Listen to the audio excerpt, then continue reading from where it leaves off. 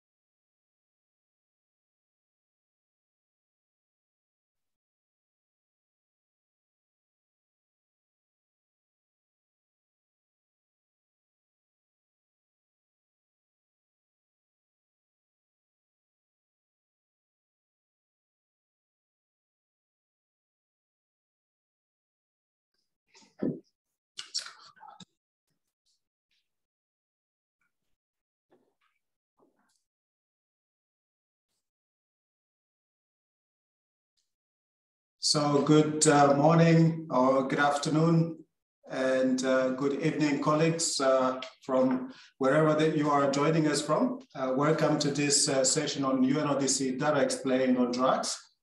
Uh, my name is Billy Batware and I'm a program officer at the UN Office on Drugs and Crime here in Vienna. Um, so before we start, I just wanted to inform you that this session is being interpreted. We have uh, simultaneous interpretation in Arabic, French, and Spanish.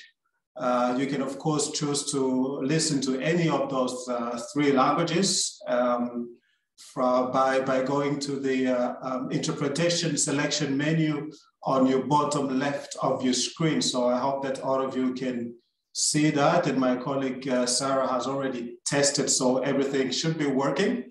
Uh, please do remember to mute the original video when you choose the language that you want to listen to so that you avoid background interference.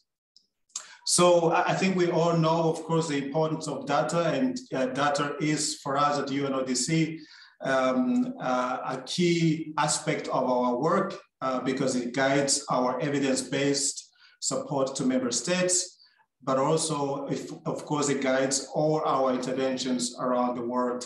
Without data, basically, I usually say that we are like blindfolded people walking towards a burning fire. So uh, in this case, uh, uh, the burning fire will be so many uh, challenges that we face in the context of the world drug problem. Um, so when uh, we say, of course, supporting member states in our perspective, what we also understand is that uh, we are supporting the wider society which make up those member states. And uh, most of them, of course, who are mostly affected by the world drug problems And civil society organizations in this particular case play a very important place, an important role in supporting governments in their commitments. So therefore, uh, uh, the data uh, that UNODC collects and disseminates uh, amongst member states, but also interested stakeholders is of utmost importance for the work uh, that civil society organizations do, especially, of course, those organizations that engage with UNODC directly. It helps you to engage uh, with your government and us at UNODC, but hopefully, most importantly, also helps you to implement your own activities. So therefore, this series of data explained is very important for us uh, to share with you uh, the approach and the principles governing the data production within UNODC uh, as implemented by uh, our research branch, which is of course very well represented here. Uh, the research branch at UNODC leads the organization to work in collecting and analyzing data that is essential for evidence uh, to inform policy making of member states. Uh, this initiative was introduced, of course, to further strengthen meaningful engagement with you, civil society organizations, in the work that UNODC does. So um, I almost dare to say that uh, the importance of, of this initiative is also demonstrated by uh, the sheer interest that we have received you may be interested to know that we have received about 400 uh, participants or at least registered people for this event. And we already have almost 100 of you already present at this particular point. So I will introduce my colleagues who are going to take you through the event. But before I do that, I just wanted to give you some, some uh, housekeeping information. And uh, um, throughout the session, as, as, as we would like this to be very interactive as much as possible, we will use Slido questions. So we will use some questions throughout the session to make sure that we interact with you. So please uh, do use your smartphone or a tablet aside to the computers that you may be using in order to, you, uh, to interact with those questions. If you wish to speak uh, or make a comment, uh, please raise your virtual hand. And you can do that uh, by just clicking on raise hand just at the bottom of your screen. And we will let you to the floor. And finally, for questions, uh, uh, we would like to encourage you to use the Q&A section of the Zoom so that we can separate questions from comments because we are thinking that we will have a lot of comments. So, and we will try to address those uh, questions as we go. So now I think is a moment that you all are here for and you have been waiting for. And um, I'm pleased to give uh, uh, the mic because it's not the floor, we're not in the same room, to my first colleague who is uh, Chloe uh, Carpentier, who is the chief uh, of the drug research section. And she will share with you the key data on drugs, why they are needed, and how we use them. And for this, uh, Chloe uh, prepared already three questions for you. Chloe, so if, if you could come in here as we prepare these questions for the audience, please. Thank you, Billy. Good afternoon, good morning to everyone. Uh, it's really a pleasure to be here. And uh, this is a bit of a first for us all to organize this session on, uh, on, uh, on drugs data. So um, so I will, uh, I will basically introduce you to uh, a bit of, um, of the overall concept, I would say, and um, the different aspects uh, that are perhaps uh, are related to drug data, uh, in why, why we collect drug data, what are the, the main types of drug data we collect, and, uh, and what we do with them.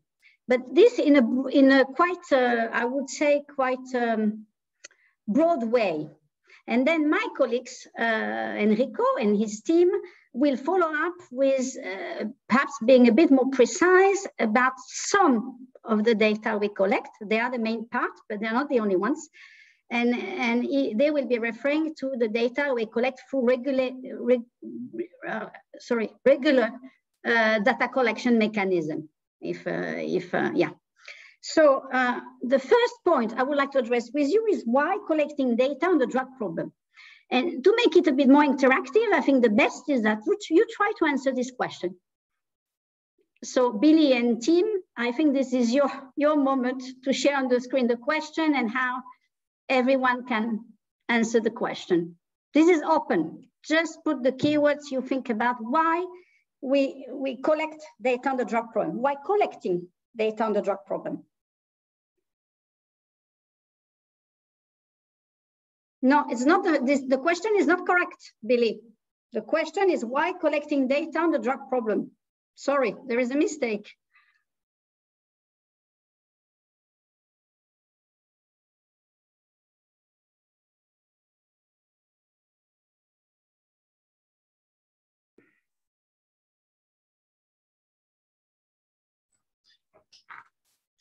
If you just reverse the order of the first two, Billy.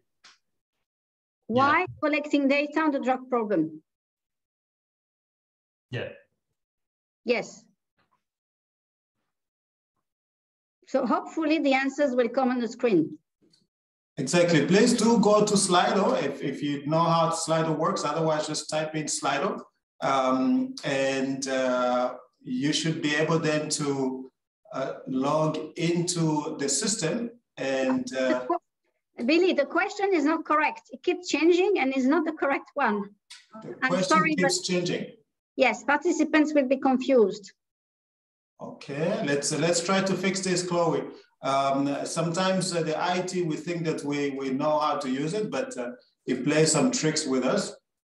I'll post a question. In... Okay, we are going to basically post the question also in the chat just to make sure and uh, we will still be able to receive the answers on the Slido. So we will put the, the link to Slido in the chat right now, and as well as the, the question, the correct question in a chat, just to make sure. Exactly, that is what Chloe just put in there. And we will put the link to Slido as well.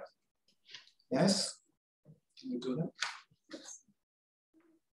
Bear with us, colleagues, uh, please. There's, there you go. So there's a link to Slido. Please go to this particular link.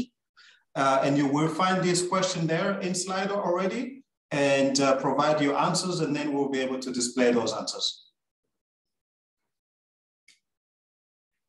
So Chloe, uh, colleagues have already received uh, the link and the question. So in, in, we, we give them about a minute to do that.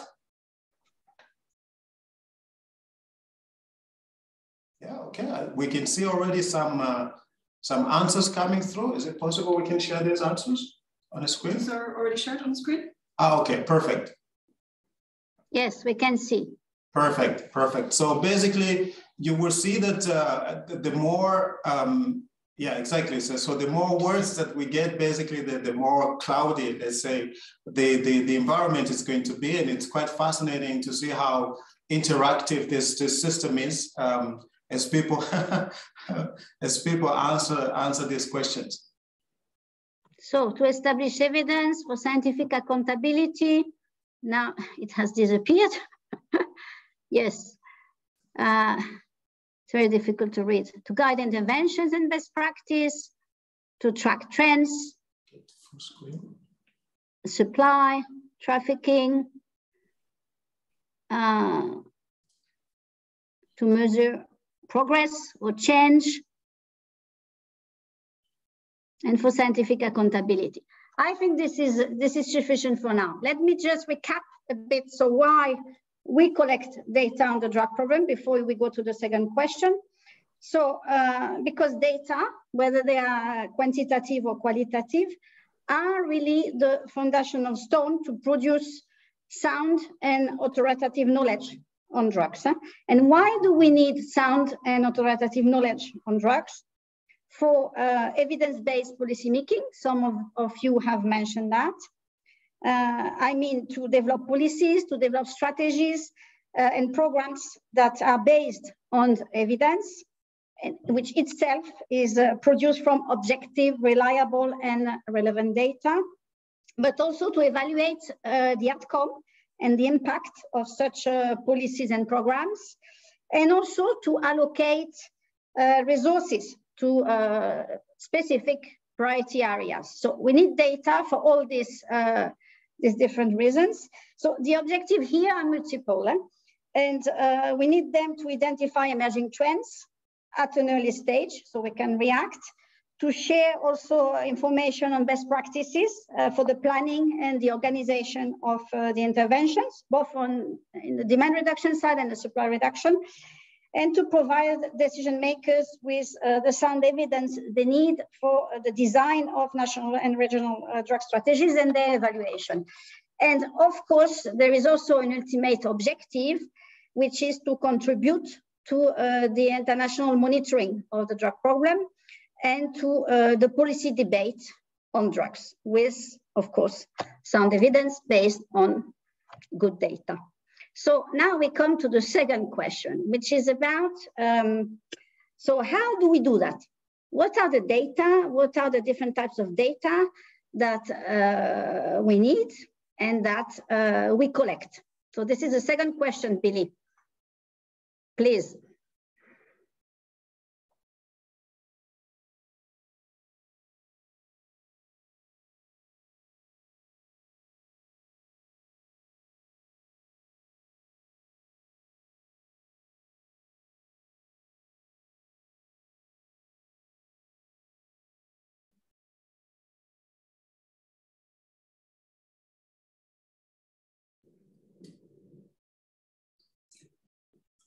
Is that correct? Is that correct, Chloe? Is that the correct yes. answer? Perfect. Yes, Perfect. it's correct. Thank you. Perfect. Perfect.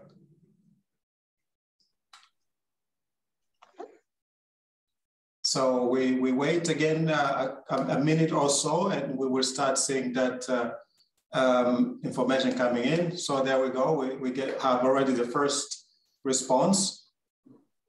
So yes, we collect data on drug seizures. What else? And what type of data? On drug use, yes.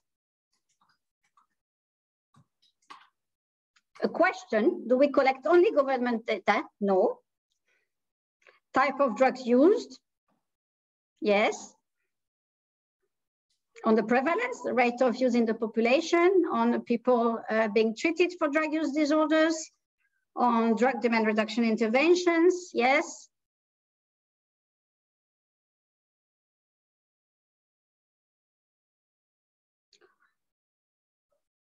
On different policies and, uh, and legislation.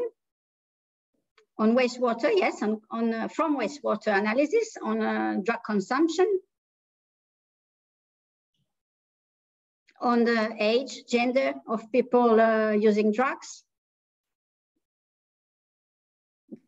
Someone mentioned indirect, yes. Some, many of the indicators of the data are indirect indicators on drug use patterns, on flows, trafficking flows, on different profiles of, uh, of actors in the, in the drug supply chain, including uh, users, but not only.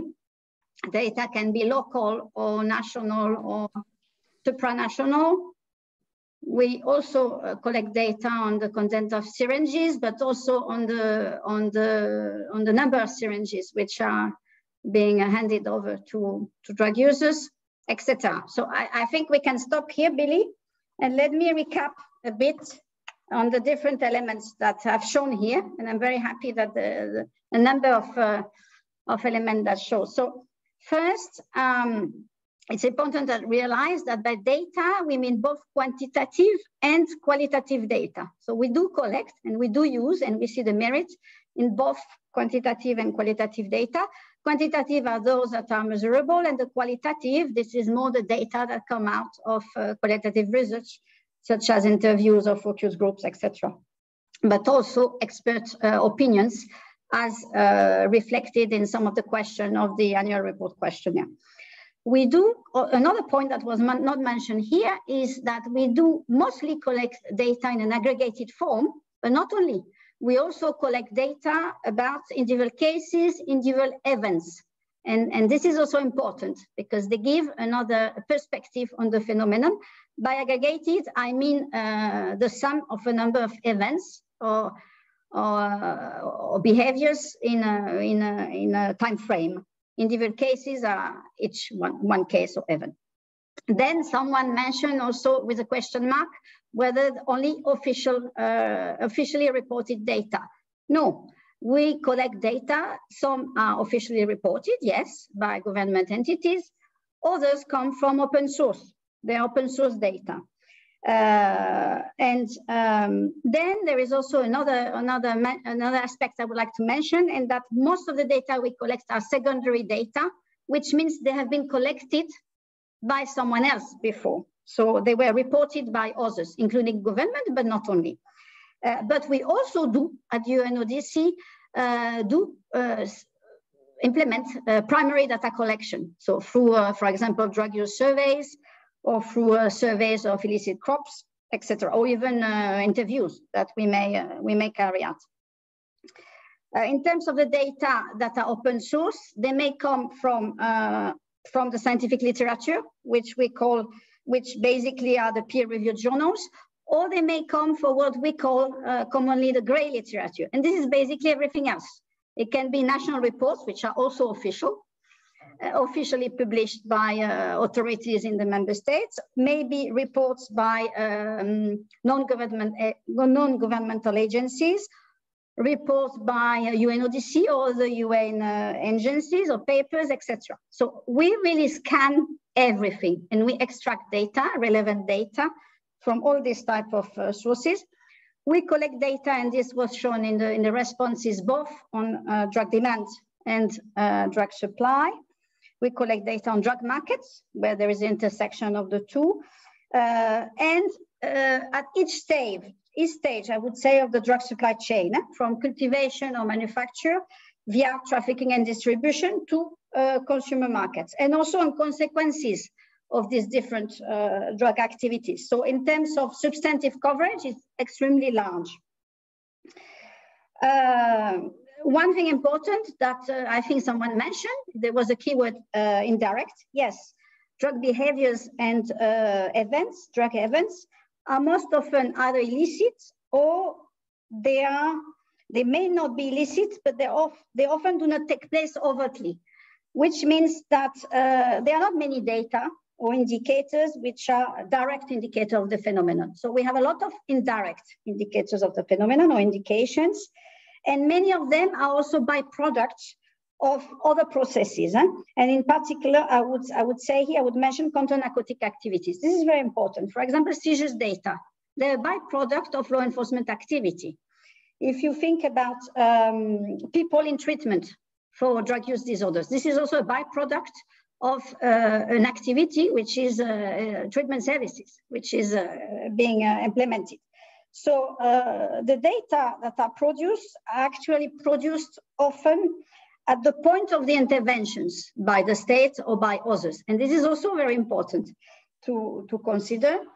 And uh, whether on the demand or on the supply side, and they may reflect uh, the priorities and the resources uh, of, uh, of these uh, interventions or, or, or, the actors behind the interventions, um, rather than being a true or unbiased uh, reflection of the drug problem. So this is also something important. The way these data are generated will have an impact on, uh, on, uh, on what we will see, basically. So we need to take them with great caution.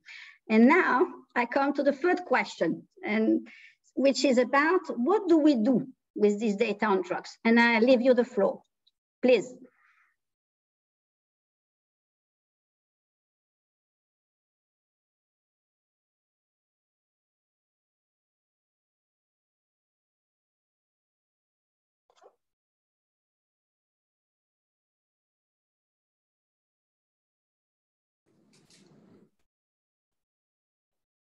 The That's question right. is correct, yes. It's, it's correct, excellent. And, and Chloe, in the meantime, uh, please, if you have a chance uh, to look into the chat, there's a question for you there from Kenzie. So you could reflect on that question uh, on, uh, I believe, on, on whether we collect also data related to the environment um, in that direction. So if you could reflect on that in the meantime as well, please.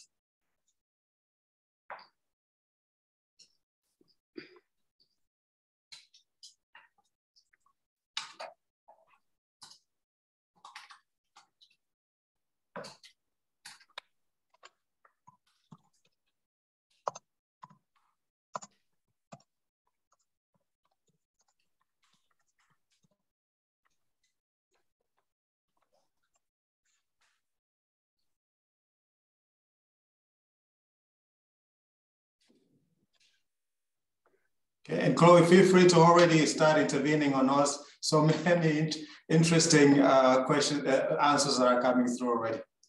I see some, there are even numbers in those questions. I'm not even sure I know what they mean. So many mention uh, that we publish or we put together, we draft reports with uh, this data. We use them to improve interventions and uh, for uh, best practice. We may use them to uh, develop guidelines for policymakers.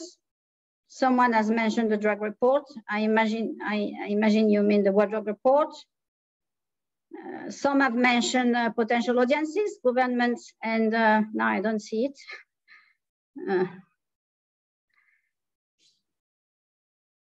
Yeah. Uh, government and public outreach. and uh, monitoring the effectiveness of policies, evaluation for evidence-based policymaking, etc. So I think, uh, let me perhaps recap a bit. I think most of is here, of what is here, was already mentioned in, uh, in response to the, to the first question. But what I, where I want to go now is more about what we do exactly with this data, a bit the intermediary uh, the intermediary process. So the first thing we do is that we check the quality. And this is extremely important because there's a lot of uh, sources and, and data and, and, uh, and data types, and they are not all of the same, uh, same quality. So we need to check whether they are reliable, whether they're objective, what is the methodology of each uh, data set and how it was produced. And if there is any limitation or bias, we need to understand these limitation and bias. And it doesn't mean that we will discard uh, this data because in some cases, they may be the only ones that we have or are available, or are available on a country or on a specific um, substantive issue, etc. But they need to be treated with uh, the caution that is required. So we need ourselves to understand the data generation, data production process, and how, how good they may be at the end, so that this informs uh, the interpretation and the analysis of, the data, of this data.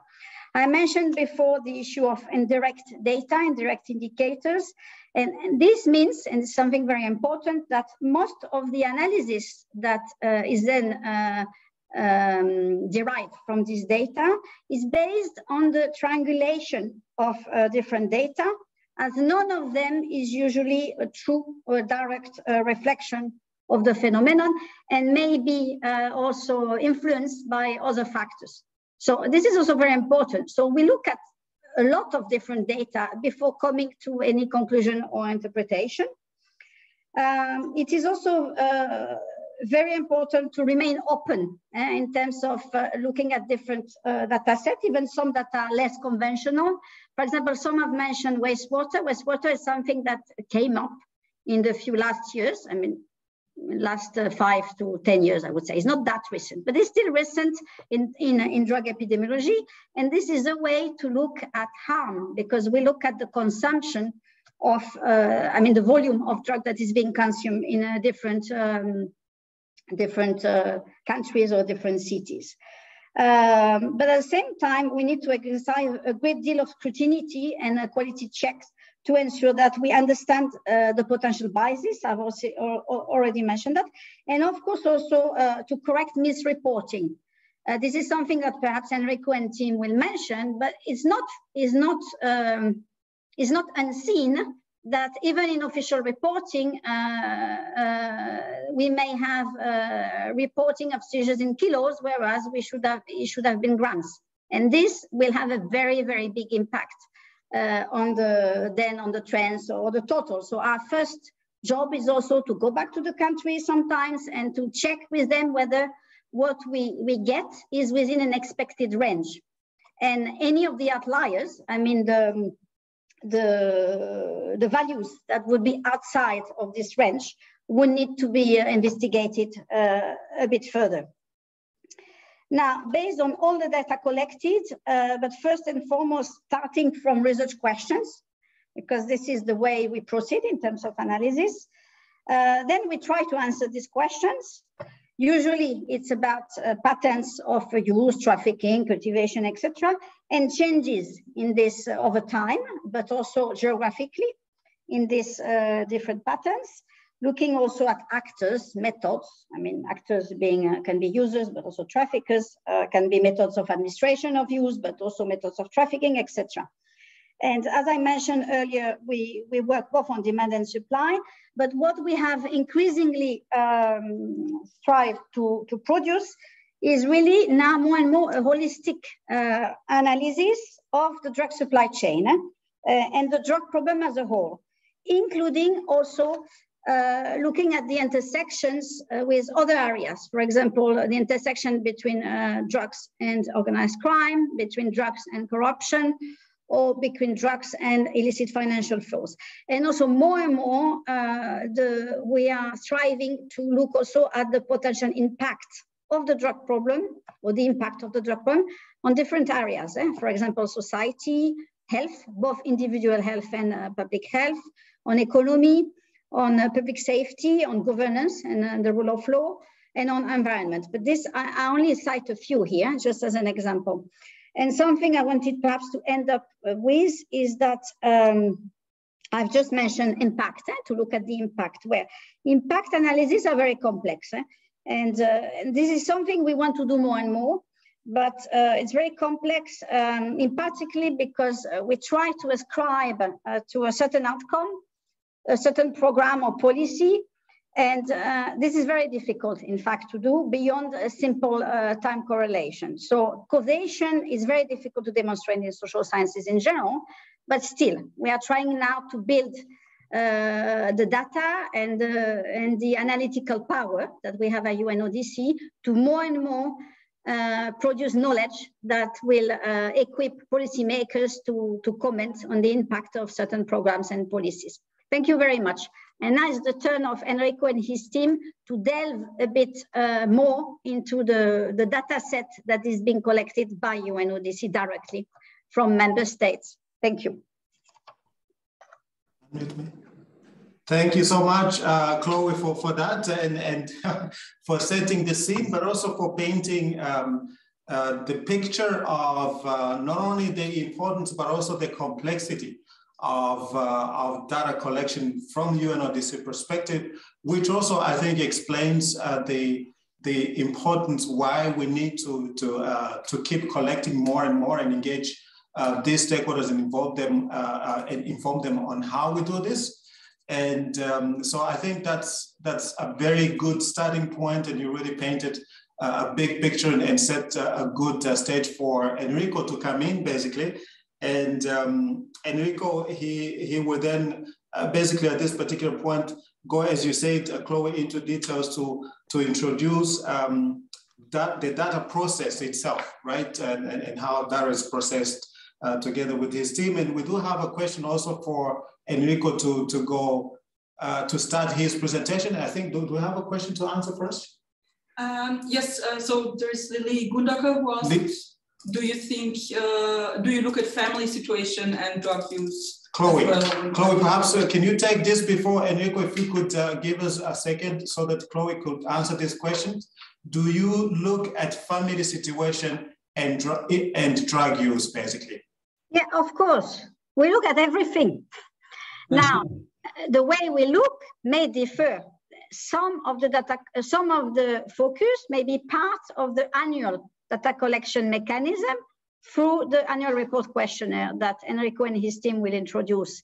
And others may be more uh, in-depth uh, analysis for which we would uh, extract data from literature and other sources. And then if, if we have a special coming out on, uh, for example, family and drug use, etc., then this will be covered. And for this, I point to you, for example, the special uh, the thematic booklet of the World Drug Report 2020, which, look at, which looked at the socioeconomic uh, characteristic or conditions and, and drugs and uh, drug activities, mostly drug use. And then you would have a bit on this, for example. Thank you.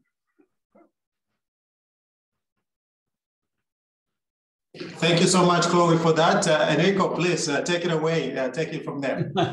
okay, thank you, Billy. Uh, thank, uh, good morning, good afternoon to all those who are connected with us. It's really a pleasure uh, to yeah to be given this possibility and this opportunity to talk to you to uh, this uh, beautiful community of uh, civil society organizations uh, working on drug issues.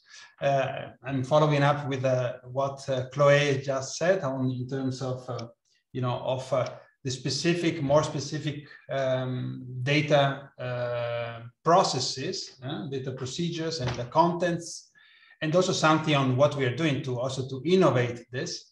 Um, so and there will be a few colleagues, three colleagues from our section that will, uh, again, give you some uh, more specific information, share some more specific information. But before doing that, uh, um, if you can already we had prepared a, a, small question just to have a, a kind of a sense of, sense of a feeling from you, uh, from you colleagues, uh, about um, what you think, um, what you think about uh, UNODC data on drugs currently, yeah? yeah, based on your, you know, experience or uh, direct or indirect, you know, uh, mm, yeah, maybe it's a, yeah, that's the question. Yeah, what do you think about UNODC data on drugs? So while you, yeah, you think a moment uh, about this, the first thing that comes to mind, huh? don't don't think too much, don't think too much, just uh, press the button that is closest to your uh, to your uh, view opinion. You know, this uh, data uh, on on drugs, as um, Chloe uh, was saying are you know is a is a we say a, a, an, an important uh, is a, kind of a word in itself uh, is a, a micro a micro word is a, is a system uh, there are many uh, and you will see a little bit of them many uh, topics many different sources what makes this um, and this you can say that is a, happens in many areas of our life, or our economy, our society. But what makes uh, drugs very specific and very unique is that, uh, of course, we should never forget this is an, a kind of illegal, illicit, uh, um, often uh, behaviors. So um, it's often this uh, uh, has a big impact on the data because, of course, it's we. there are issues like you know people are not very willing to, to disclose what they are doing uh, many data, uh, we don't have data on trade of drugs. We don't simply go to the customs to ask for data as we can do for many other goods and so on. So, you know, you have to understand that uh, the fact that this is illicit, of course, these activities are illicit, um, of course, has a big impact on the, on the data. And that we try our best to, of course, to uh, collect what is available and make sense, uh, interpret the data in the best possible way. So I'm, I'm seeing uh, a number of answers coming. So yeah, uh, good. Many, uh, many of you saying that uh, um, these data import, misimport information many of you saying that the, these data are influenced by national data policies. Uh, yeah, it's good to see that there is a, a, reasonable, a good share of people thinking that the overall uh, the data are quite good. Um, but again, there are others saying, of course, underlying uh shortages, weaknesses, but also, yeah, somebody saying that they are uh, complex, difficult to understand. Okay, so um, we are very much aware of these uh, challenges, yeah, of uh, of uh, weaknesses of uh, in certain areas, for example, or in certain regions. We will talk about this. Um, the issue of uh, you know what, whether the, the data are um, really uh, um, you know of good quality, we can say, or they're influenced by, in a way, by, by national authority is also at the top of our, you know, priorities. And so also on that, um, yeah, we have some uh, some processes in place to make um, to make this happen.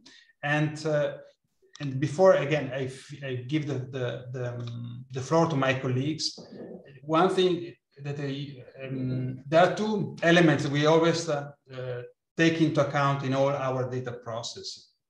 One is uh, quality. Uh, it's our, this is a quality in the most, uh, in the broader sense. It's not only accuracy, it's also comparability, it's also uh, timeliness, it's also, it's also interpretability and so on. Um, this is a, our you know, main concern. The other, so to increase that as much as possible to be transparent in that as much as we can. The other, of course, we should never forget we, we are the UN, we are an intergovernmental organization. And uh, so for us, it's, it's also cru equally crucial to maintain uh, a close link with the countries. We, we maintain uh, we maintain a sense of ownership of the data uh, by the countries because this is the this is what we are doing. We are doing giving a service to them as well. So between these two uh, uh, kind of uh, pillars, we it's all our activity. it's all our activity to maintain, and we always try to strengthen to maximize both of them. So um, with that, I will stop here. I will come in. It's interesting to see, again, really the results of this uh, small, uh, short uh, opinion poll. Um, if, but I, now I give the floor to my colleagues. It will be Hernan, who will talk to you about our main data collection, the ARQ annual report questionnaire. So that again, you can be a bit more familiar on how it works very briefly. Then uh, Diana, Diana Camerini will focus on two specific outputs of our data work. One is the, the, the work on drug uh, prevalence estimates and the trafficking, the drug trafficking routes. And then finally will be Francesca Massanello will talk about our, you know, the, what we are doing on the, um, to improve, you know, also the data using uh, new, new technologies. So on, on based on a web, uh, web scraping methodologies. So now I give the floor to my colleague. First of all, Hernan, please go ahead. Enrico and Anna, just just just uh, if I may here, we have Please. four we have four questions in the queue and in the okay. Q&A section. So so just to make sure that maybe Hernan and, and Diana, maybe your your presentation will answer those questions, but I just wanted you to take a look at them first. Maybe they are to be answered already now uh, by Enrico before we move on. If if I may invite you to do that, please. Mm -hmm. I, I suggested, okay, maybe you suggested Hernan goes ahead and then we take a look at the. At the Perfect. At the Perfect. Excellent. Thanks so much, Enrico. Yeah. Hernan, please, please go ahead. Thank you, Enrico. Uh, good morning, good afternoon, good evening to everyone. Uh, I will try to share my my screen. Please let me know if if you can see it. Yeah, we can see yeah? it. Perfect. Perfect. Um, I think some of the questions will be responded with some of the with a part of this presentation. Um, so I will talk about the, the, this ARQ, the Annual Report Questionnaire, which is uh, our main data collection tool. Uh, this is uh, as on drugs, as Chloe mentioned and Enrico also mentioned. Uh, we collect data on the aggregate level uh, and also on the individual level. So we collect, for example, individual data on seizures. And Fran Francesca will talk about this later, but I will focus more on the ARQ, which collects data at the aggregate level and at the annual level. Um, we recently went through a major uh, revision of the, of the questionnaire, which was um, endorsed by the CND, the Commission on, on, on Narcotics Drugs, in 2020. Uh, before we used to do this data collection using these um, Excel files, which collected the same data every year.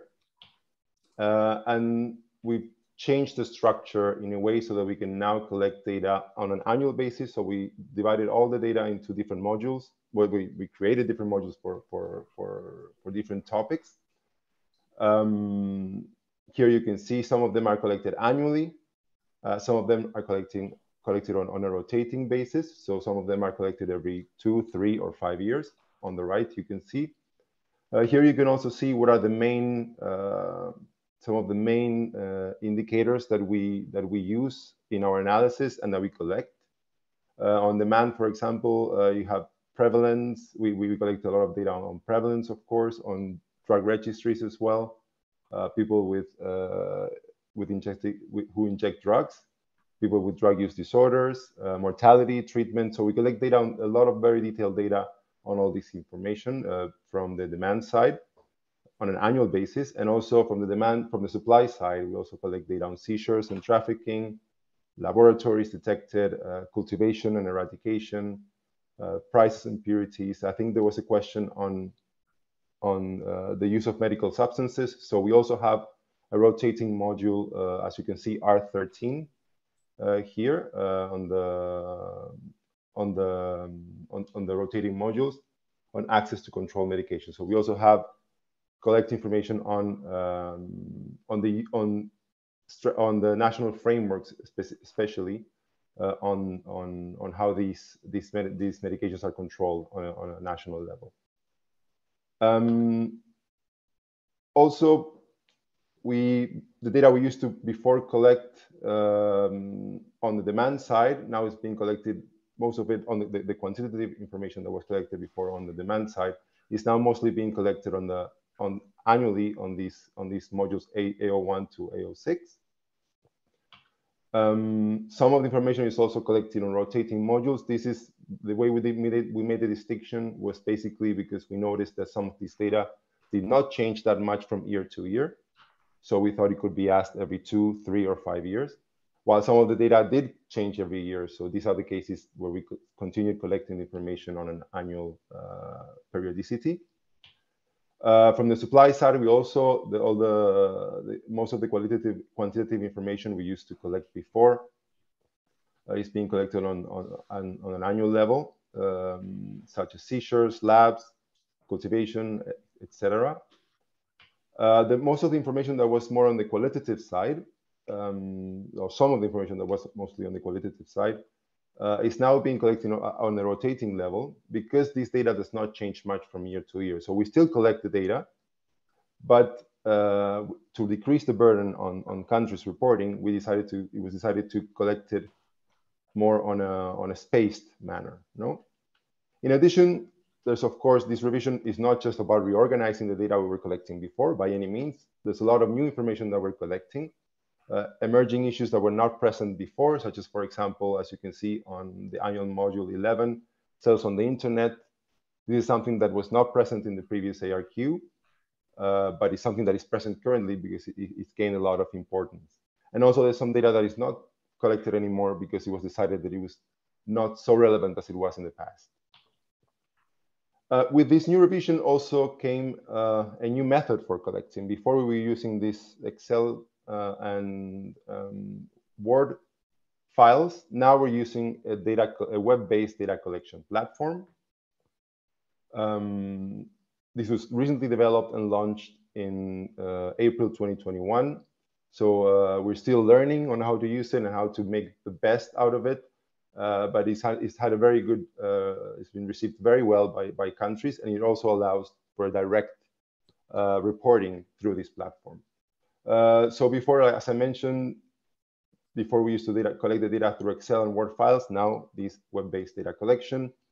We also established uh, a network of, of focal points. So now we can talk directly to, um, to uh, technical experts in the countries. Before we used to communicate always via the permanent missions now uh, we connect with permanent missions, but also directly, we have the, the option of, of communicating directly with focal points and national entities. Um, and of course, this and also this this platform also allows for uh, for monitoring of what the of what the status is in terms of, of uh, reporting uh, to the UNODC. Before this was not possible, but now permanent missions and everyone, uh, all the users in the in the country can access and see what the status is of the of the data submission. Uh, we also dedicated a lot of, of time to training uh, users and member states on how to use this platform. We did over 12 trainings uh, in about six, seven months. since April until now November and until December. Uh, we reached over 600 participants uh, from around 100 countries uh, so far. How is the, the data collection process? I mentioned this is an annual exercise. Um, so normally the, the, the, data collection is launched in, uh, in May. Um, the, the deadline for submission for this year was at the end of July. Uh, of course, countries often um, report after this deadline, but we continue receiving the responses and taking them into account. Um, we do validation of the data. I will go a little more in detail about how this validation is done. We share the data with the countries now in December. So we're currently right now in the process of sharing the data we have uh, with countries um, uh, so that they can review this data uh, and and they're also aware we also want to keep this very close communication and and keep it transparent transparent with the processes with the countries.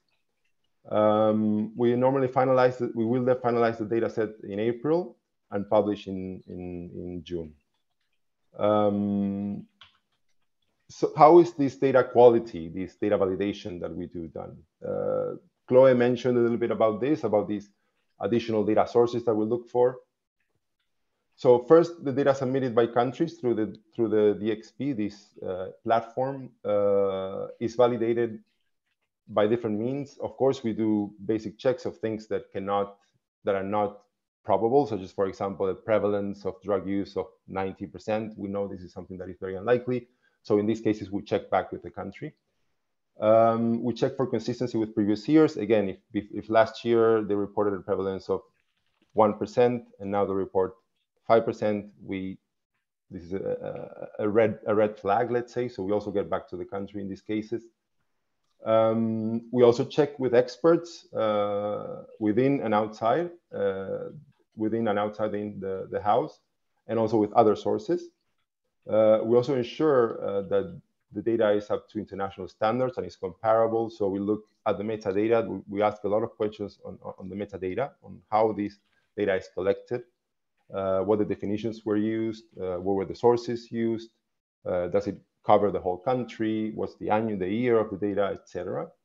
And also, like they, like Chloe mentioned, we all not only use triangulation for analysis, but also for uh, validation. So if we have a case where we can see that uh, a prevalence um, translates into a number of users that is, for example, uh, lower than or the same as as, as, a, as the number reported in, in registries, we know there could be an issue there because prevalence uh, is wider than what, what normally registries are.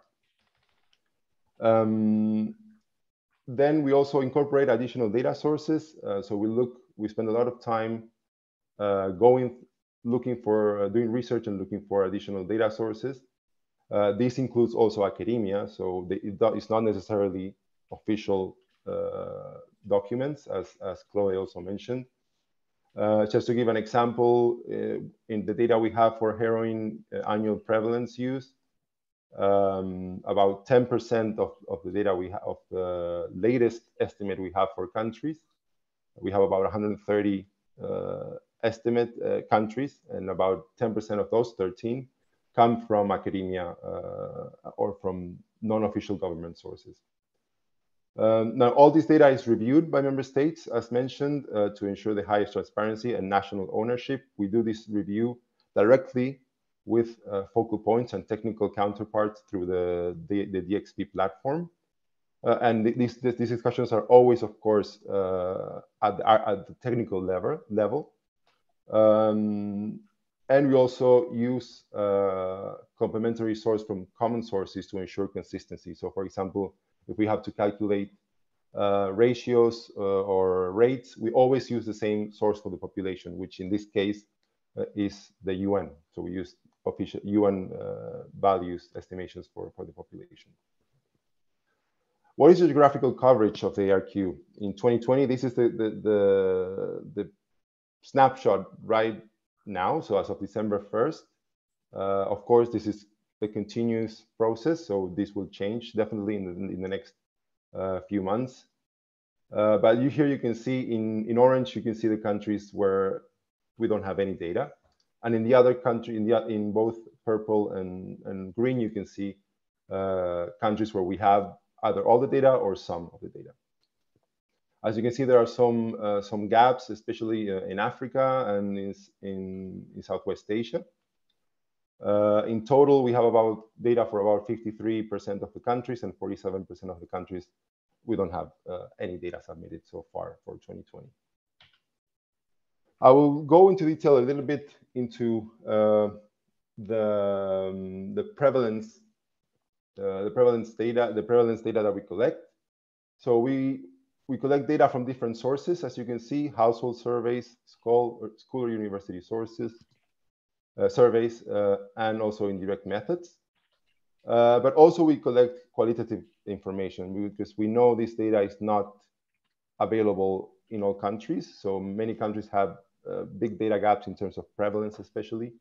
Uh, so, uh, so what we do is we also collect, try to collect some information from them uh, in the form of qualitative questions. Here you can see uh, some some of these questions. There should be all countries should be able to answer these questions. So, for example, ranking of drugs of which are the, the the most consumed, the most used drugs in the country um, or trends if they think there has been an increase in the consume or uh, in the consumption or, or a decrease or stayed uh, stable. We also collect, as I said, uh, data, quantitative data. Um, so this is questions that normally many countries have them, but we know that not, not all countries do. So lifetime prevalence um, by drug, by also by sex and by age. Uh, we also collect annual, monthly, and if countries have it, weekly and daily as well. Uh, in addition, as mentioned, we collect data from school surveys and, and indirect methods, which for, for certain, the use of certain drugs are normally preferred. For example, for the use of, for the calculation of, of, um, of heroin use prevalence, we prefer to use uh, indirect methods because we know that uh, household methods, uh, household service may may underestimate and may, may be under coveraging this, this population. Uh, we also ask uh, qualitative questions on uh, drug use in specific groups of the population, such as persons with disabilities, living in rural areas, etc., and uh, polydrug use as well. And finally, what is the geographical coverage that we have for prevalence, for example? Um, as you can see here, you can see uh, for the for the prevalence of cannabis use uh, in the last five years, we only have data in, at the global level for 36% of the countries, and there's a big variety between different uh, different regions. So for Europe, we have 80%. Uh, for regions like like Africa and Oceania, we have 13, 15%. This also has to do with the fact that these types of surveys are not done every year, of course. Uh, and for the last five years, in terms of heroin, the, the, the, the, availability is lower. So at the global level, we have about 21% of countries with data. And again, there's a big variation at the regional level. If we compare this with the data, with information we have for on the supply side, if you look at seizures, for example, uh, for the last five years, we have data for uh, about 75% of countries. So it's much higher at least when we compare seizures to prevalence, uh, the availability of data uh, um, on seizures. Thank you, thank you very much uh, for your attention. And uh, Enrico or Billy, yeah, the, I'll go back to you. Thank you, thank you, Hernan. Um, I think um, thanks a lot. I, am also looking at um, uh, the, the questions in the chat in the Q&A uh, section. I we try to give answer directly in, in the in, by inviting to some of them. There are uh, um, yeah we will try to give answer now also orally. Maybe it's easier and faster. Um, before there is there are a few questions uh, something that we uh, on dissemination of data. We'd like to also emphasize that besides the you know the um, the production of you know, the World Drug Report and other uh, analytical instruments, uh, we also um, produce uh, disseminate the data as they are. So um, maybe I will also put in the chat the the, the web the, the link. So we have a um, a portal where we disseminate the data. Um, my, I mean, they, a lot of indicators data at country level or also regional, global level. One thing that they, this is something that we are very much keen on expanding, yeah, more and more. Um, and also to, uh, and I know that uh, to make this access to data as more, you know, uh, technologically advanced as possible. So this is an area where uh, we also, we, I think, you know, again, we, uh, we really try to put everything that we uh, collect, our, this is our principle, everything that we collect, once it's validated, um, you know, uh, processed, we make uh, accessible to the international community. But also, yeah, we are also, we will work also to make it more and more uh, technically uh, sound, this access. Uh, with this, um, yeah, Diana, we had prepared a, you had prepared a, just a couple of examples on uh, for you, for the people, for our colleagues and friends to understand the type of work we do to, to analyze and to produce analytical, you know, analytical outputs uh, for, uh, for users. Diana, please. Thank you, Enrico. Thanks to everyone. And uh, thanks for attending this event. Um, I am going to present now um, two major analytical output we have. Uh, the first one is the estimates of prevalence of drug use uh, at the regional and global level. Uh, but also we have other outputs starting from uh, prevalence data. And the second one is going to be trafficking flow maps starting from supply data and especially from seizure data and trafficking uh, flow uh, information that have communicated yearly on a yearly basis by member states. I'm going to present, uh, share my presentation in a second. Um, I hope you can see my screen. Um, just confirm that my presentation is visible, um, hopefully in full screen mode. Yes. Um, it's not in full screen? Not in full screen. Okay, let me just share another screen. Um,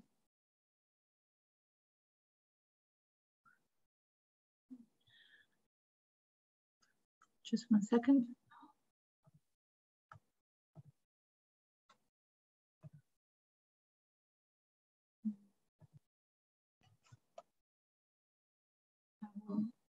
Stop presenting now and swap uh, the screen maybe. Screen number three, no, two. Then this presentation should be in full mode.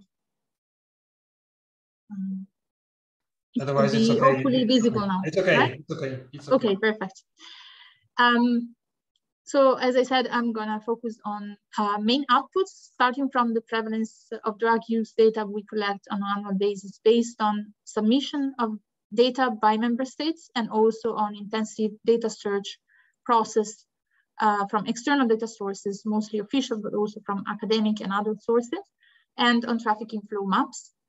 Um, as you most likely know, uh, one of the main epidemiological indicator to measure drug use is the, and there is this agreement among the scientific community is the prevalence of drug use among the general population. And uh, our major indicator we focus on is the current use, which we collect every year. And we focus on consumption of drugs in the past 12 months. And this indicator indicates how many people have been consuming drugs uh, at least once in the past 12 months. The prevalence of drug use is um, an indicator that is in general, as said already by Chloe, calculated or collected somehow uh, and estimated by member states and by usually by national institutions. So we rely on mainly uh, secondary data and other data sources can be academic institutions or specialized agencies which um, use or administer uh, surveys among households uh, and among the general population and also school survey data. Uh, prevalence of drug use is also estimated starting from indirect methods, which works for certain drugs, uh, such as especially opiates, through, for example, capture recapture. And uh, as said already by Chloe, is uh, data are collected as a byproduct of the action of uh, health service, for example, in uh, active in harm reduction or treatment. What we do with this data?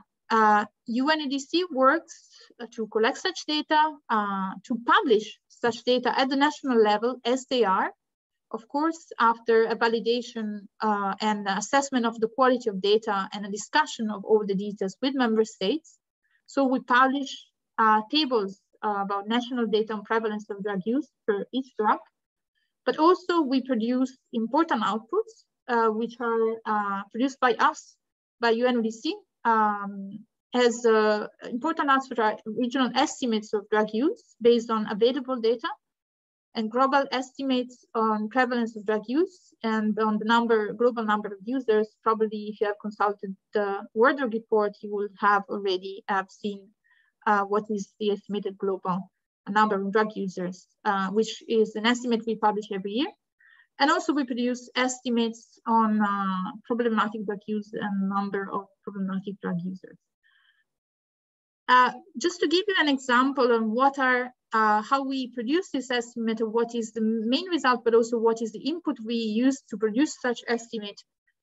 As Hernan said before, um, countries are challenged by producing such data, but also by communicating such data to UNODC. And the major challenge probably would be data production. So um, collecting estimate, collecting data on drug use and producing estimates is a really, uh, let's say, resource intensive work. And uh, we receive, therefore, uh, as Hernan illustrated before, only a limited number of data every year. Uh, so for producing regional estimates, we will try to rely to whatever we have and whatever we receive.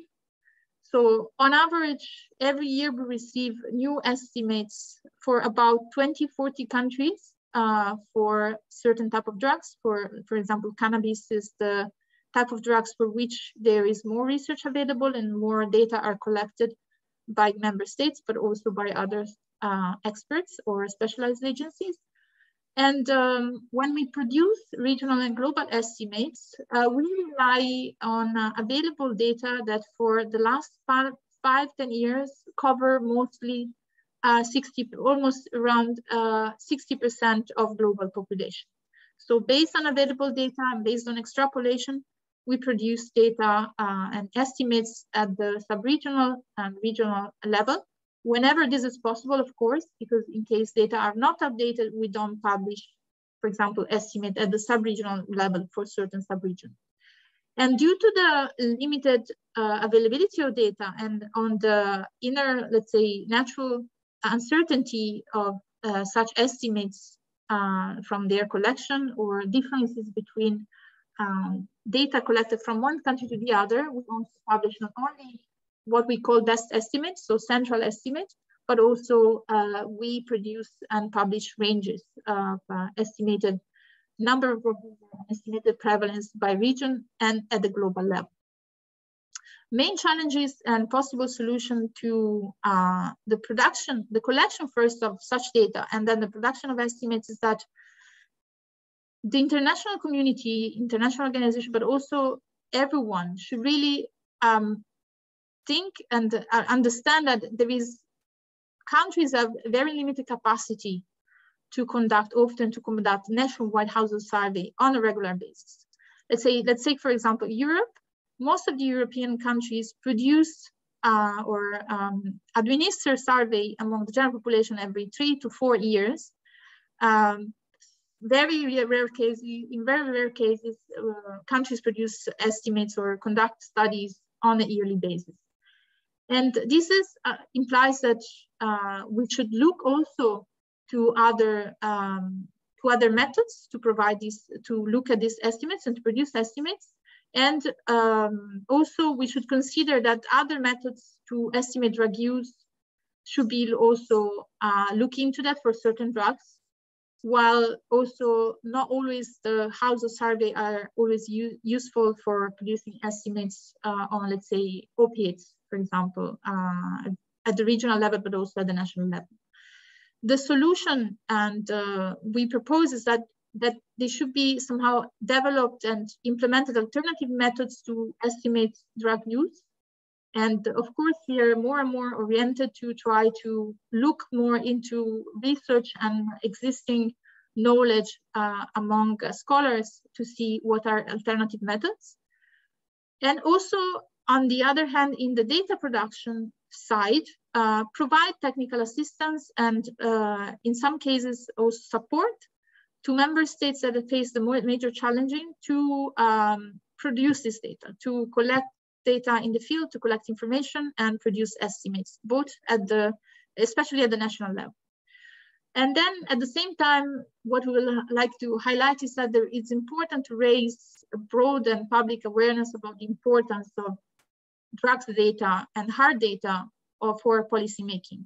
How much policymaking should be oriented looking by data and how much policymaking should support more uh, policies oriented in the collection of hard data using uh, scientific methods. In terms of data collection, even if we face challenges uh, such as, let's say, not always the countries have the capacity not, not to collect data, but also to uh, communicate data to us. And data not always can be shared. Uh, there are limited challenges. There are a number of challenges on that.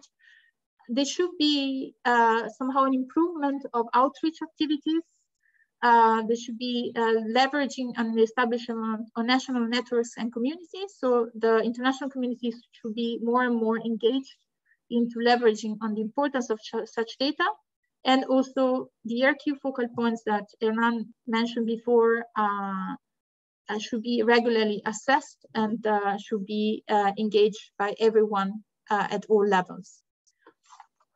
Regarding instead the trafficking flow maps, which is uh, really important, I think, an interesting output of uh, the data we collect uh, and result of the analysis we do on uh, drug supply, and especially on um, uh, drug seizures, so the amount of drug seizures, but also the direction uh, that these drugs take, took looking at the, for example, origin, transit, or destination of such drugs. Uh, based on this, uh, and also based on integrated data from individual drug seizures or uh, other official documents from member states, uh, we produce uh, trafficking flow maps at the national level by identifying the countries of, as this map, the countries of source of or transit of drugs. In this specific case, we talked about a shipment of heroin and on uh, destination, which are the major country of destination based on available data submitted by the country based on the seizures each country make, but also based on, as mentioned uh, before by Chloe, by uh, triangulating the data. So seeing uh, what other countries report to about other, for example, countries where the drugs originated or where the drugs are destined for. And another important output we produce is the uh, sub-regional um, level map, uh, which is uh, a map focusing on flows, depending on the amount of seizures we had. Uh, and um, at the sub-regional level, that indicate um, and classify somehow uh, the major flows into low and high volume flows. Such data are the result of a compilation of a complex matrices um, of uh, um, origin destination. Uh, and uh, the inputs used, as I was saying, was uh, not only the amount of drugs seized by every country and what is being communicated to us, but also data on trafficking routes. On the annual report questionnaire, we have a module on drug seizures and routes, and particularly a submodule where we talk about, we ask information about the distribution or the major uh, indicating as we uh, at the moment in, to indicate the major countries of departure transit of destination of the drug seized in the country. And also we integrate this data with individual drug seizures or other um, country reports from specialized agencies major challenges for producing such maps and uh, for also improving uh, the analytical output we have out of this is that though we have, we know we have a data, better data availability on drug supply uh, and on general on drug seizures than drug demand, still we face major challenge on the availability of timely data. And I think my colleague Francesca is gonna talk about uh, this issue or this uh, topic, interesting topic better uh, later on. Um, And the fact that trafficking routes are complex and uh, the data we rely on for producing trafficking flow maps are based on evidence from law enforcement and lab evidence based on their efforts. So as Chloe was saying before, uh, these data are data based on action of policy or of law enforcement agencies. And uh, it depends on their capacity both to detect the drugs itself and to seize the drugs, but also to understand what, where, where, what is the routing, to identify where the drugs come from and where they are destined to. And countries face different capacity across the globe and across different regions. And this is the major challenge that we need to uh, somehow improve through better data collection, but also through improving the capacity of various uh, law enforcement agency in the detection of such and in identification of such information. Um, but just to say that positive news would be that, as I said, better data availability is uh, on the drug uh, supply side is, uh, is there. So for example, for cocaine, um, we can count, uh, usually we produce maps on a five years period. And so far for the period 2016 to 2020, even if not closed, uh, we have data for at least uh, a couple of years on, uh, for cocaine seizures from 141 countries and for heroin for um, 130 countries at least so far. So we hope that uh, your action and somehow our action could help us to leverage more on the data collection and raise awareness on this. And I will uh, close here and give the floor to you. Um, thank you. Uh, thanks, Enrico. And thank for you. any questions, um, we are ready here for. Thank you, um, Diana. Thank you so, so much. So I, I think uh, you can now, having uh, watched the two presentations from, from Hernan, and Diana, you can appreciate uh, the work and the, the type of uh, activities that lay, lie behind a, a, simple, what looks like a simple chart or looks like a nice colored uh, uh, map of the world. So you see, you know, the data, the, the, all the work that is behind the collecting the data, processing, and analyzing uh, this information. Um, Billy, I, I, there should be another question uh, ready, question number two. Uh, so that now that people have a, a some understanding of the data uh, we have, maybe they can are in a better position to answer to this, um, yeah, to this kind of question. So what could UNODC do to improve its data on, on drugs? So and you can see the different options that uh, uh, we came up with. So use data from civil society, use data from the academia, engage with countries to improve national data, provide capacity building activities, use more innovative data sources such as big data, data other. Um, yeah, again, your first thought on this if you were us, if you were here, sitting in this place, what would you do tomorrow? that's the um, that's the question that we are asking you. And I, one thing that uh, when I look at the, at the questions that you were asked in the you were asking in the in the in the chat in the Q and A uh, section, uh, there were, for example, questions about how we um, what we do to improve you know, data from spe specific areas. For example, here, Africa uh, and Southeast Asia were mentioned. And, uh, you know, um, we see uh, when we, we work in, in um, especially in developing uh, countries, regions, we try to have these two, um, two tiers approach. First, to try to have the uh, whatever is available in the short term try really to improve communication, improve communication at country level, uh, improve communication uh, from the country to here, improve partnerships with the regional organizations, so because there are in, in all the regions, the world, there are, you know, uh, regional uh, organizations that are often closer to the country. So to improve the communication so that whatever is available there can uh, get to surface, get, get, can get here at the global level. So this is one. And then of course, there are more longer term um, strategies to, you know, to improve capacities, to conduct, for example, to support countries in doing service and so on. This is also another area where we are also very much active, but as you can understand, this is more uh, demanding in terms of resources. So funding is always uh, an issue here, and we always uh, look raise very actively for funding in this area.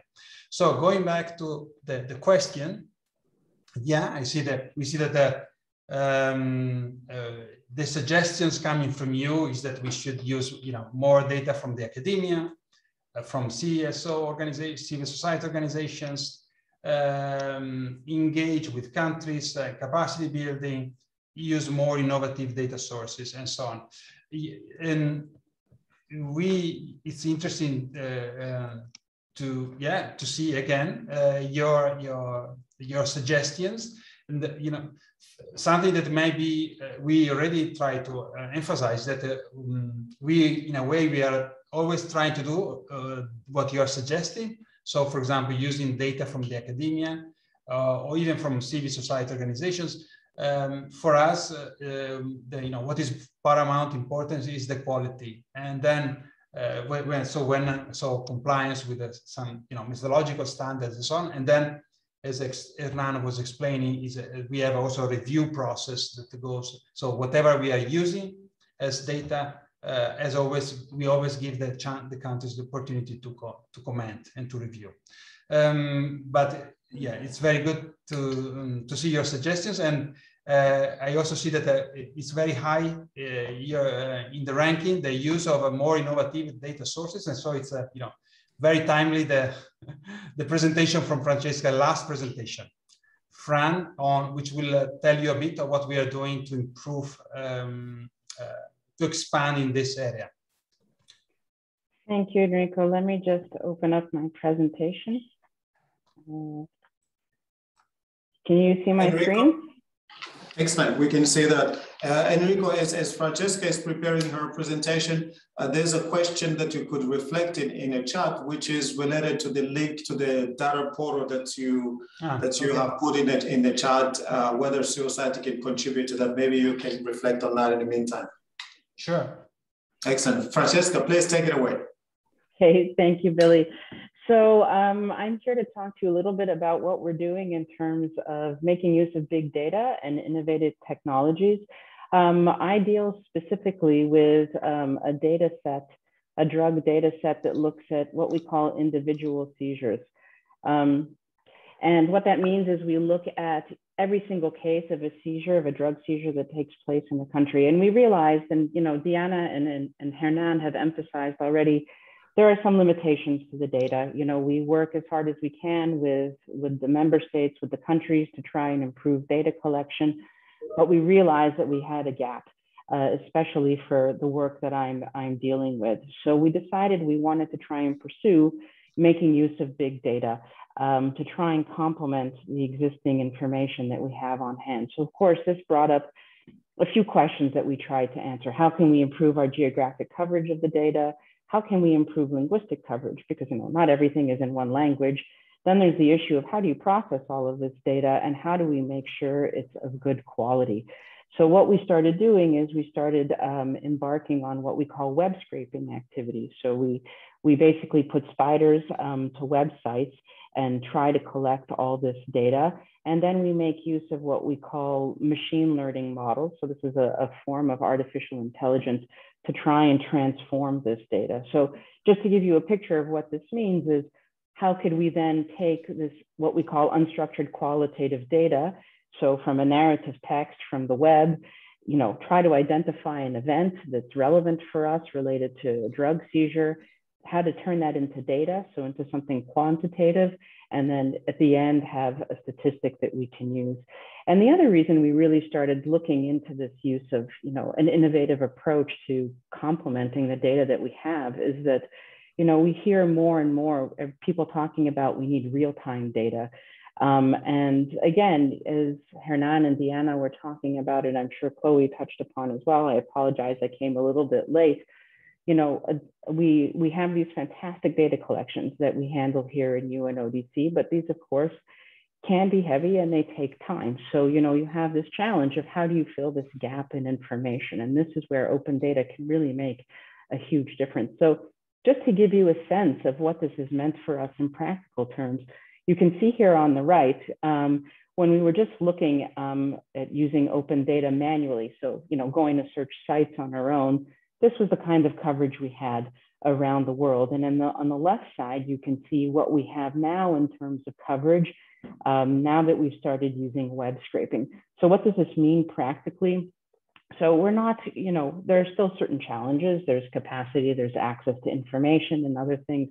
So we're hitting roughly about 150 countries around the globe, and we have about close to 20,000 sources um, that we're making use of right now, just using open data. So this has really improved our coverage overall around the globe. In terms of the sources that we're using, we're using, we're relying primarily on government websites, um, media sites, and now we're also using a select amount of social media. So what I mean by that is um, specific handles on Twitter, um, as well as Facebook that are linked specifically to the government, not to individuals.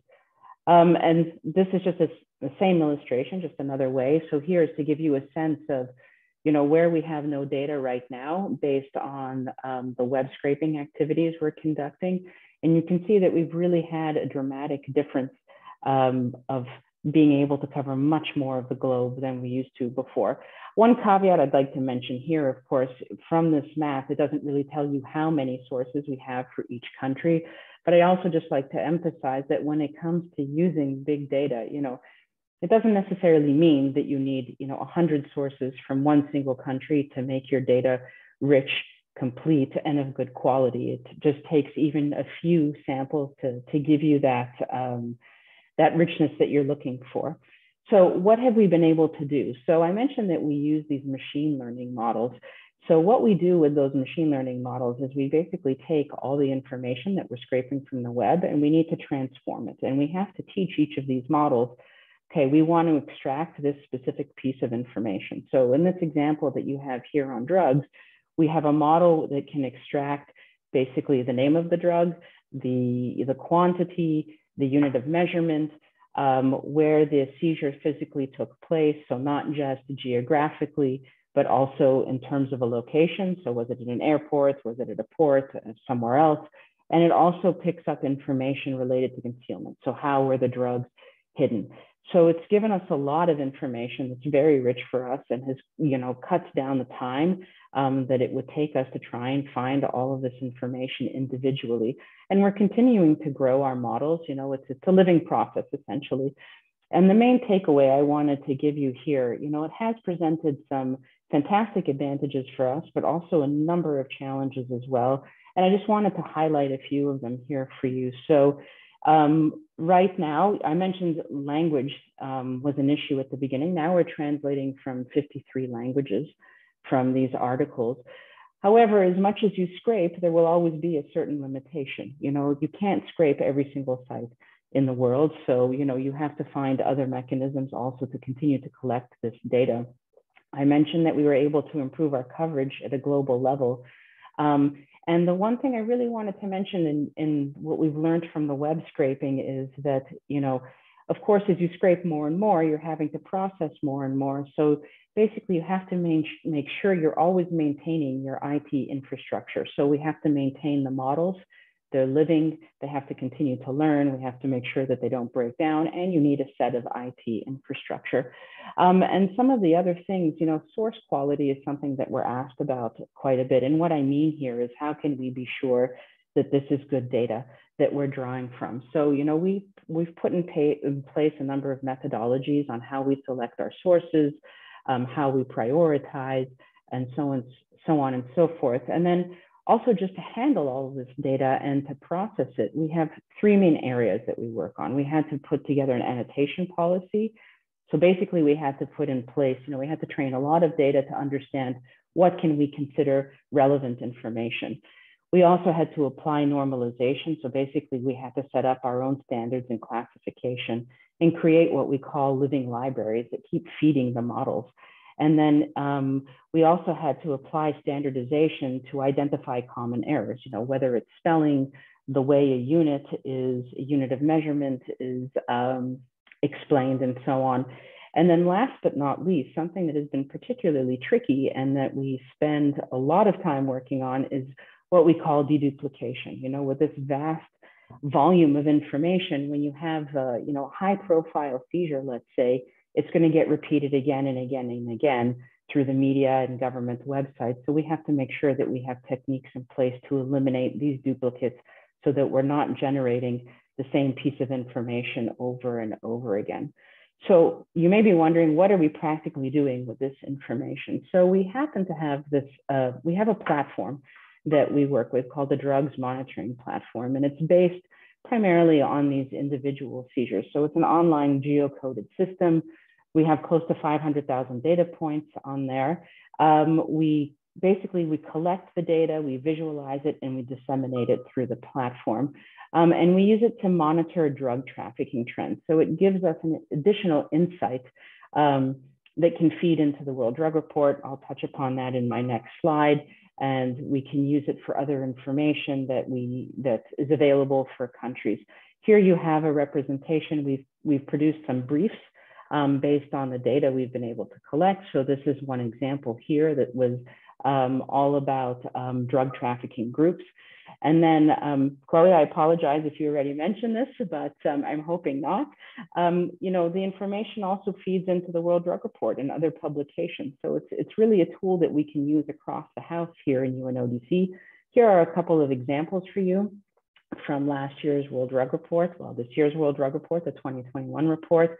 And this was specifically the, the booklet that was dedicated to COVID. So we were able to build from this data, from this open data, these rapid pictures to have a sense of what was happening in the first year of COVID in terms of drug trafficking. And if it's particularly interesting here for the map for Africa, you, not just the continuity of the trafficking throughout COVID, but this clear trend where you can see, you know, there's um, the cannabis in the north, the cocaine in the west, as well as, you know, um, amphetamines, and then amphetamines and heroin in the, the east.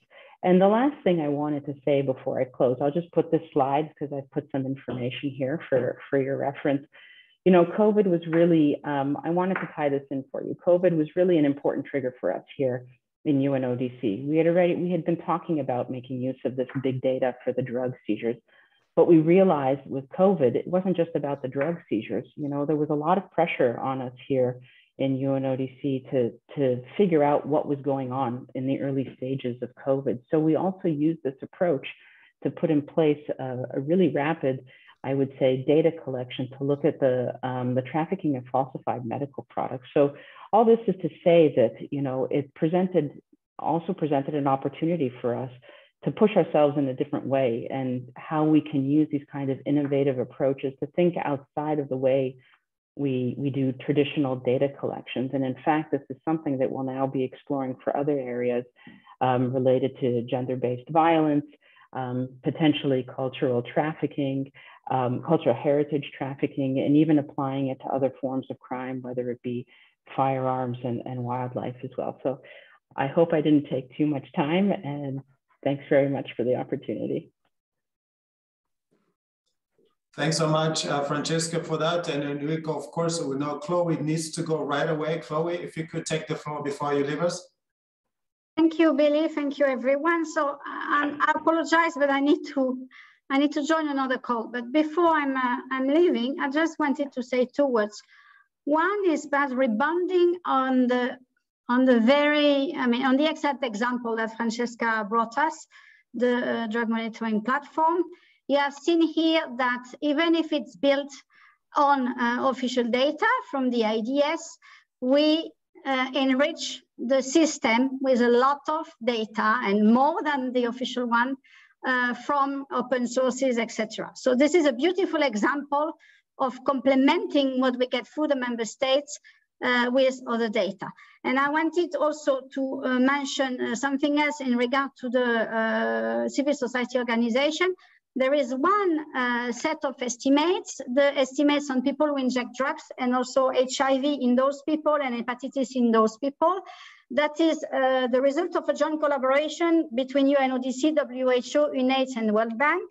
And the process of uh, arriving at these estimates, both at national level, in the sub-region and in the region, is also a process that engages very heavily the civil society organization. And I say that because you may not be aware of it, but basically the data set is sent to civil society organizations and, and they have a, an opportunity to review and to send any other estimates they would be aware, etc. And this is channeled through the Harm Reduction International. So it's just for you to, to know that such processes exist already. And then I wanted also to mention that even if the, so this webinar is on data and data is not the same as analysis. And this is something I really want to emphasize because here and uh, Enrico's and team have, uh, perhaps not Francesca, but at least Enrico, Hernan and, uh, and Diana, they have uh, mostly emphasized what is a regular data collection, which is the backbone of any publication we may have, and which is based on official reporting from the member state. But when we use this data and when we produce research report and research product, we don't only use that. And I want really to emphasize that because it's extremely important. And it's not only, as Anna mentioned, that 10% of the prevalence estimates, I think it was for heroin, uh, may come from the academia. In some areas, it's much more. And I'm not talking about estimates here. I'm talking about when we answer some research questions, some of the data may not come at all from official data that are submitted through the IQ. As you can imagine, the IQ has to be limited. Of course, us as researchers, we would have, we would like a 10 times bigger IQ to collect much more but we can't. The member states are going to kill us if we go into this direction. So we have done the minimum that is uh, acceptable for them, but is enough for us to have the backbone of our, of our reporting. And this is what is then translated into the, the data portal that Enrico, Enrico shared the link through the, through the chat, I think. But there is much more. So I really invite you to go through our uh, research publications. And something also very important, we are extremely transparent. We have made a very big effort in the last uh, five years so that all our publications reference very uh, transparently the sources for all the statements and all the data we use. So this is, and then you will see that uh, there is a, a, big richness here. I have to leave you but I'm, uh, I'm very enthusiastic to see how many you were in the webinar today. And I will leave you with my colleagues, and I'm sure they will be more than capable to answer all the questions. Thank you very much, everyone. Thank you.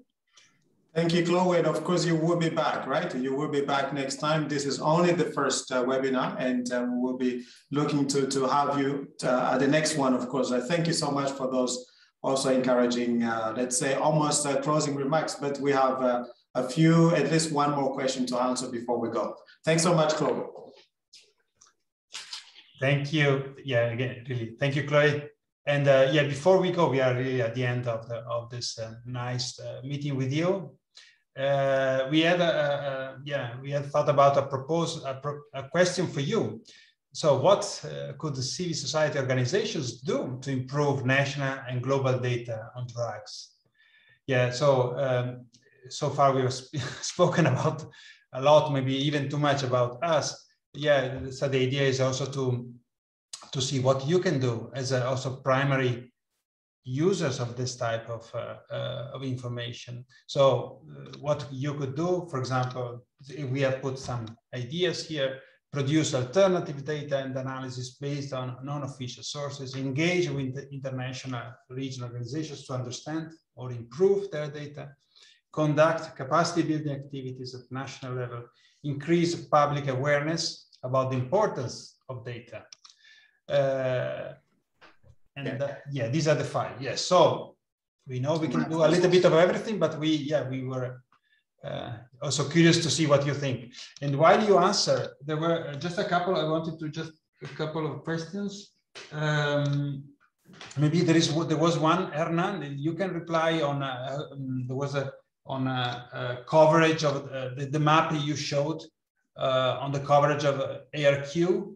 Uh, it was somebody asking about Madagascar, but again, that is what what we have received so far. But maybe you can say something on, on this, on the what how to interpret correctly that that map on on, on the ARQ yeah. data submissions. So the question was on Madagascar. Then I I, I couldn't yeah. find it. Okay. Okay, it was in the chat. So yeah, it's it's so this means so Madagascar was on on on the map was uh, in orange. So this means they have not yet started providing data for 2020. So they may have provided data. This is this is the status currently of the current data cycle, but they definitely uh, doesn't mean that the country has not uh, responded to the ARQ in previous years. It just means that this year, as of to the as of 1st of December, we have not received any data from this country. Uh, but again, we, are continuing working with um, with our regional offices within UNODC, with countries, with focal points, trying to get these these data. Uh, but it, yeah, so that that's okay. pretty much what it means. Okay, thank you. So yeah, you know, this this is what we report is what uh, countries have reported to us to UNODC, but uh, you know, uh, data can be also available. Uh, and uh, and of course, this is one of the main, the first challenge we always try to, to address, the communication with us. And then there was another question concerning, you know, uh, how we work with other international, regional organizations and so on. Um, again, very shortly, it's a, you know, it's a, we always uh, try to use this principle. The same, the one data is collected only once, yeah, uh, internationally. So this is where we are going towards too. So we would like to um, not to ask twice uh, the same question to the two countries so that uh, we as international regional organizations coordinate among ourselves so that we avoid that. Um, to reduce the burden, to reduce the possibility of, of, of having, you know, conflicting data on, on countries. Uh, this is uh, at the same time um, you have to be aware that this is a, a, you know not always easy because every international regional organization has a uh, often mandates uh, tasks, core tasks assigned. So uh, from different countries, different groups of countries. These, these are not always very, you know, consistent. Yeah. So, but uh, please be assured that we always try to uh, to do this, not so to not to ask the same question twice, and um, and we are again more and more engaged with uh, other international, whether it is uh, WHO or others at the regional level to uh, improve the, the data uh, and also make them more more comparable. Um, yeah, so I see looking at looking at your uh, answers, I see that you are very much willing to help us. That's very good. Producing uh, data and analysis yourself that's uh, that's very good. Uh, on the one hand, yeah, we are all so we will have another uh, source of information. And uh, uh, now that you've uh, reached us, you you you have got to know us. You can also yeah we have created this additional channel of communication. So please always be aware, free to reach out to us for of course you have a, uh, for us that as I said there are two things that are really always two criteria is the you know that we use in the in the for reviewing the data the quality so compliance with standards. And then we also always have to uh, give uh, countries the possibility to review the data we are finally using. But uh, it's also uh, you know, we often think that uh, uh NGOs can do also a lot, also for the other um, I, you know, activities that we uh, we um, underline, we propose here, and uh, for example, using the data, engaging with the national authorities, and so so um, so that they, they, they, on their own uh, start producing, improve the data they they they're entitled to do. Um, so I I would stop here uh, also because I mean we are a little bit late. Um, thanks, uh, thank you. Okay, I would like to thank also my colleagues, uh, Hernan, Diana, Fran. Uh, and Billy, I think that people can still ask, ask questions if in case they are um, they're willing to do so. So we will be happy to also to uh, answer to you uh, in the next few days. Uh, for us, it's yeah, it's the first time we had this kind of meetings. It's we definitely are engaged not to, to be the last one. on the contrary, to have more of these sessions, both on drugs but also on other topics. Uh, we believe that it's uh, really important that uh, you we want to in a way appreciate the, the, work we do the challenges we are facing but also be really sure that we always try to uh, to do the best in terms of you know providing you with the best possible data and also again to be as much transparent really as possible uh, in doing this. Um, thank you again. And billy i give it uh, over to you Thank you so much, Enrico. Thank you so much uh, to you. And of course, Chloe, who just left, and um, Diana and Francesco for your time. I think, honestly, I think this, this has been really wonderful to, to see uh, the sheer number of participants here, also, which I think uh, shows the importance of this particular session. So as you said, Enrico, it's only the first uh, uh, uh session that we're holding. We will hold more of these kind of sessions. We can diversify and bring in different uh, uh, contexts as well to this to this event. So thank you so much uh, to you and your team. And I think we have understood that this uh, the work that the research branch does to collect and analyze data is not an easy one. I think um, was it Francesca who said uh, that um, it could um, uh, it could be heavy and it could take time. I would say, Francesca, it is heavy and it takes time. so, uh, so, so I think it was was very important also for colleagues to, to get this understanding. Why does do, do they receive data late? You know, because it takes time to collect it. It needs to be uh, it needs to be analyzed. It, need, it needs to be validated so so that they can get the best data that is there possible. Because we want to to present the best evidence that is out there. So thank you so much uh, to all of you uh, participants. Uh, I just wanted to invite the, the, the, chair of the Vienna NGOC to just say the, the last final words for this particular event, because I know that the Vienna NGO Committee has played a very important role also in making this event possible. Jimmy, you are with us. Please, the floor is yours for the final words. Oh, thank you so much, Billy. And it's been a brilliant session. So thank you so much to all our UNODC colleagues. Uh, it's been really interesting. Um, yeah, I mean, I know we're over time, so I w- I won't be too long. But just to say, I really appreciate the initiative. Uh, I know this is one of a series of these webinars, so I'm really, I'm definitely looking forward to the to the others in the series as well.